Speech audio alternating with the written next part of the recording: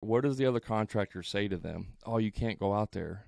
I think that's what a lot of contractors they live in like what I call the Truman show. And so when they talk to other contractors and they want to go down the dock and they want to go out in the water, what does the other contractor say to them? Oh, you can't go out there. Remember when you go out there, there's storms and all those things. You can't go out there. You can't go over here. And all of the other contractors, they we all live in this bubble, and we're trying to keep everybody in this bubble because we don't know what's on the other side of that bubble and the clients that you're talking about are outside of that bubble. And this is why it's so important to surround yourself with other contractors who are winning to get into a community because they can say, look, Robert, you're stuck in this bubble, right? There's a whole other world outside of this bubble that you're trapped into.